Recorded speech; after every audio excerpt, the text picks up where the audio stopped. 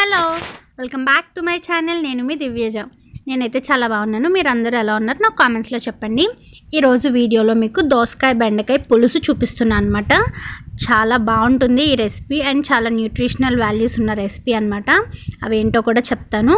First మనకి ఏమేమి కావాలంటే దోసకాయ ముక్కలు ఉల్లిపాయలు పచ్చిమిర్చి అండ్ బెండకాయ ముక్కలు. సో చాలా ఈజీగా చాలా క్విక్గా అయిపోతుంది అనమాట ఈ రెసిపీ.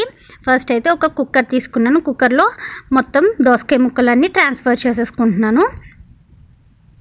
నెక్స్ట్ వచ్చేసి దీంట్లో పచ్చిమిర్చి అండ్ ఆనియన్స్ కూడా యాడ్ చేసేస్తున్నాను అనమాట నెక్స్ట్ బెండకాయ ముక్కలు కూడా యాడ్ చేసేసుకోవాలి. మొత్తం అన్నీ యాడ్ చేసేసుకున్న తర్వాత ఒక హాఫ్ గ్లాస్ వాటర్ హాఫ్ నుంచి three fourth glass water add చేసుకోవాలి దీంట్లో. ఎక్కువ వాటర్ అవసరం లేదు. ఫస్ట్ అయితే హాఫ్ గ్లాస్ వాటర్ యాడ్ చేసుకోవాలి. అట్లా వాటర్ యాడ్ చేసుకున్న తర్వాత కొంచెం పసుపు కొంచెం కారం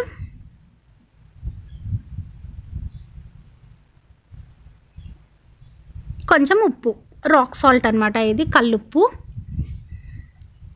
నెక్స్ట్ చిన్న నిమ్మకాయ సైజు చింతపండు. ఇదేం నానపెట్టుకోలేదు డైరెక్ట్గా చింతపండు దీ కుక్కర్లో పెట్టేస్తున్నాను. పెట్టేసి జస్ట్ టూ విజిల్స్ ఎక్కువ విజిల్స్ అవసరం లేదు. ఇప్పుడు కుక్కర్ ఆన్ చేసుకుని జస్ట్ టూ విజిల్స్ అనమాట టూ విజిల్స్ వేయించాలి.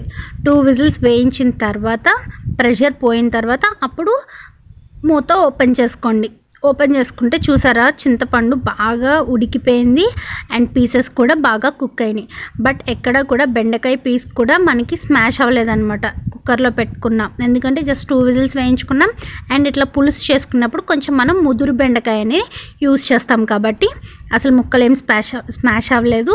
అట్లనే దోసకాయ ముక్కలు కూడా బాగా కుక్ అయినాయి అనమాట కుక్ అయిన దాంట్లో ఇప్పుడు మనకి ఎంత వాటర్ అయితే కావాలో అంత వాటర్ యాడ్ చేసుకోవాలి.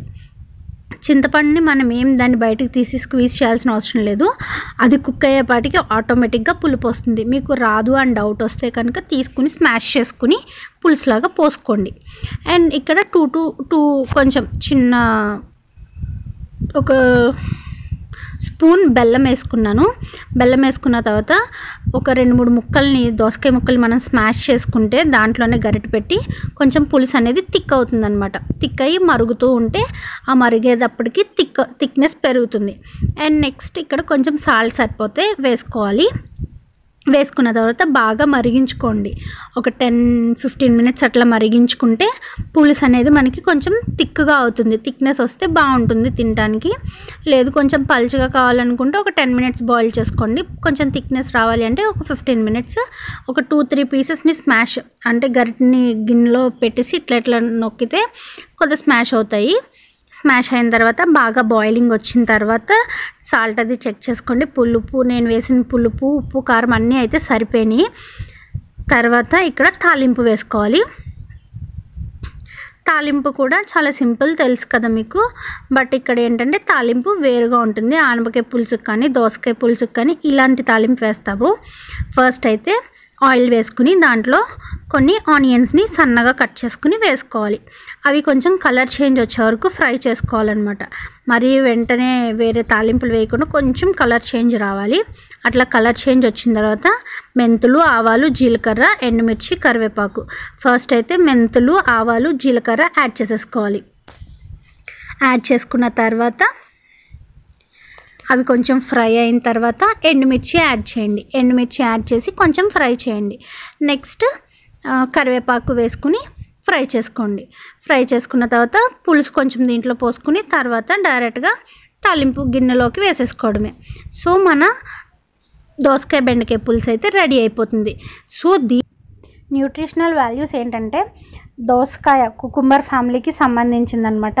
సో దీంట్లో వాటర్ కంటెంట్ ఎక్కువ. సో దానివల్ల మన బాడీ ఎప్పుడు కూడా హైడ్రేటింగ్గా ఉంటుంది. మన స్కిన్ ఎప్పుడు హైడ్రేటింగ్గా ఉంటుంది డ్రై అవ్వకుండా ఉంటుంది. అండ్ దీంట్లో యాంటీ ఆక్సిడెంట్ ప్రాపర్టీస్ ఎక్కువ ఉంటాయి కాబట్టి స్కిన్కి కానీ హెల్త్కి కానీ చాలా మంచిది. దీనివల్ల వెయిట్ లాస్ అవుతారు డయాబెటీస్ కంట్రోల్ అవుతుంది హార్ట్ డిసీజెస్ని కంట్రోల్ చేస్తుంది చాలా యూస్ఫుల్ అవుతుంది అనమాట అండ్ బెండకాయ కూడా దాంట్లో జిగురు ఉంటుంది కదా దానివల్ల మన ఎల్బోస్ దగ్గర కానీ మన నీస్ దగ్గర కానీ జాయింట్స్ ఉంటాయి కదా ఆ జాయింట్స్ దగ్గర గమ్ ఫామ్ అవడానికి హెల్ప్ అవుతుంది. అండ్ అట్లానే కొంచెం హెయిర్ గ్రోత్కి మంచిది. అండ్ మన ఫేస్ మీద పింపుల్స్ కానీ లేకుంటే పింపుల్స్ పోయిన తర్వాత మచ్చలు కానీ అట్లా ఫామ్ అవుతాయి కదా వాటిని కూడా క్యూర్ చేస్తుంది. అండ్ హార్ట్ డిసీజెస్ని కూడా క్యూర్ చేస్తుంది. దీంట్లో ఫైబర్ కంటెంట్ ఎక్కువ ఉంటుంది కాబట్టి డైజెషన్ని బాగా ఇంప్రూవ్ చేస్తుంది. సో దట్ మనకి ఇండైజెషన్ ప్రాబ్లమ్స్ కాన్స్టిపేషన్ అలాంటి ప్రాబ్లమ్స్ కూడా బాగా క్యూర్ అవుతాయి అనమాట హై ఫైబర్ ఉన్న వెజిటేబుల్ అనమాట ఇది. సో ఈ రెండిటి వల్ల కూడా చాలా యూజ్ ఉంది కాబట్టి తప్పకుండా మీరు ఇంట్లో ట్రై చేయండి. చాలా డిసీజెస్ని మనం కంట్రోల్ చేయొచ్చు. సో మీరు కనుక నా ఛానల్కి ఫస్ట్ టైం వస్తే నా ఛానల్ని సబ్స్క్రైబ్ చేసుకోండి. అలానే నా వీడియోస్ కనుక నచ్చితే మీ ఫ్రెండ్స్ అండ్ ఫ్యామిలీకి షేర్ చేయండి. Thank you for watching. Have a nice day. Bye